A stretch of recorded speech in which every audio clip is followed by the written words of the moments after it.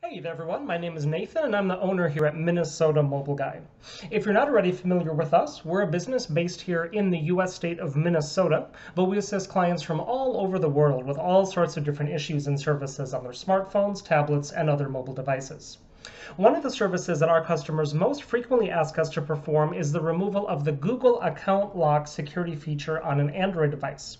Now, here with us today, we happen to have a Samsung Galaxy A20, and this device does have the Google Account Lock enabled here.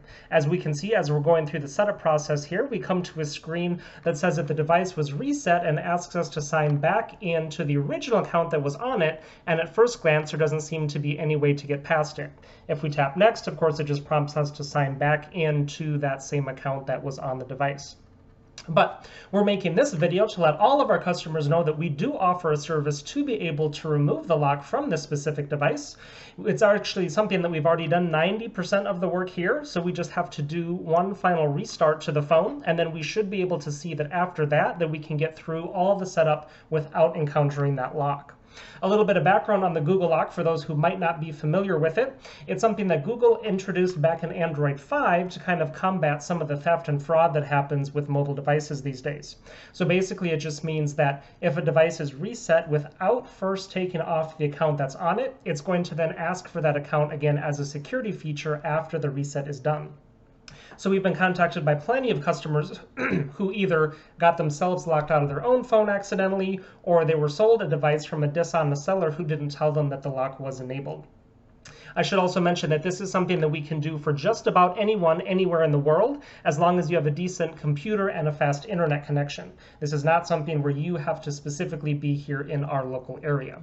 So now that the restart is done, we're going to go ahead and start skipping through all the setup steps here. You're going to agree to the terms and conditions.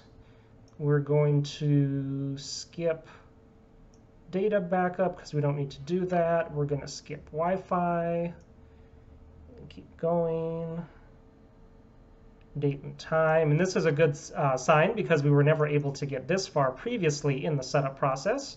We just want to make sure that we can show you guys that we can actually get all the way through the setup here skip the Samsung account, skip the Samsung things. And okay, it says we're all done. So then after that, we should be able to see that. Yep, there we go. So we've got the home screen here loaded up. We have full access to the device and all the apps and features, and the lock has been completely removed. Just to show you exactly what we're dealing with here, we're going to go ahead and jump into the settings and show you exactly what we're working with. So this is indeed a Galaxy A20 as shown in the settings here, and then it has the model number there, the A205U.